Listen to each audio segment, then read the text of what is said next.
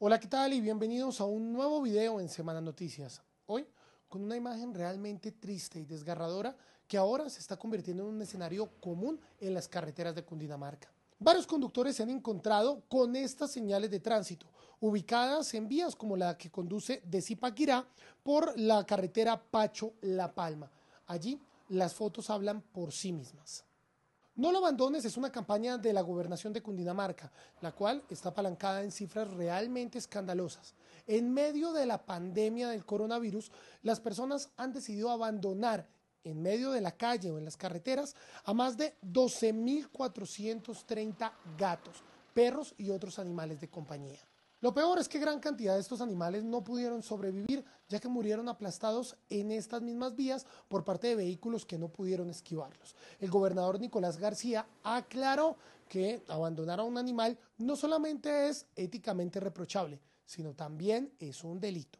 Nosotros queremos recordar que el abandono también es una forma de maltrato.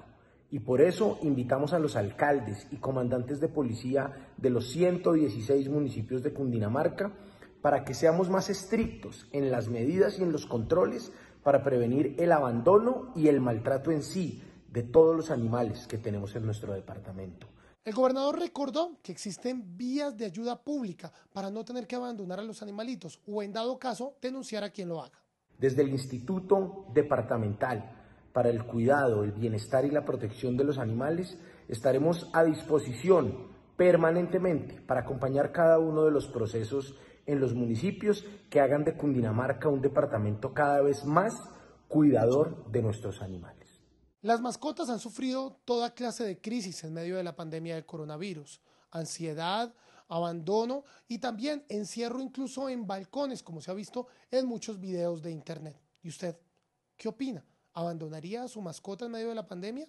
Cuéntenos en la caja de comentarios. Soy Fabián Yáñez, reportero, y esto es Semana Noticias.